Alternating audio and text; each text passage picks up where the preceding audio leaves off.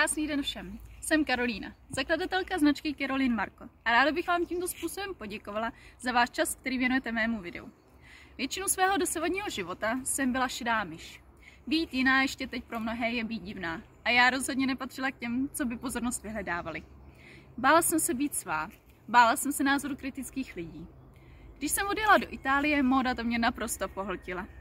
Pohledy lidí nebyly odpudivé, když jste vypadali jinak. Naopak, byly plné obdivu. A já jsem se přestala bát nosit barvy. Při návratu do Čech jsem už nebyla šedá myš. Žádná kopie, naopak. Teď barvy naprosto miluji.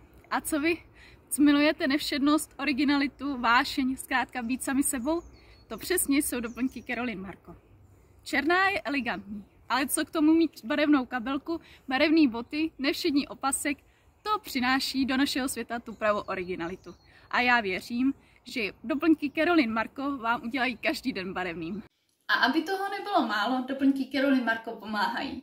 10% cen každého produktu jde na pomoc lidem, kteří to potřebují. Ať už rodinám s těžkou životní situací, maminkám s dětmi, které trpí domácím násilím, či dětem v dětských domovech. Je mnoho skupin, kterým můžeme pomoct. Tím pádem značka Carolyn Marko není jen značka, je to symbol. Motivy na těchto kabelkách jsou vlastně ručně malované a značí skupinu, které daný doplněk pomohl. Například tyto kabelky. Motiv těch, na těchto kabelkách podtrhuje ženskou jedinečnost, sílu, vášeň a věřte mi, ženy jsou na to velmi hrdé. Muži, kteří zakoupením těchto kabelek už nejsou jen ti, kteří chtějí ženu řídit. Naopak, uvědomují si její jedinečnost a chtějí ji podpořit. A můj plán?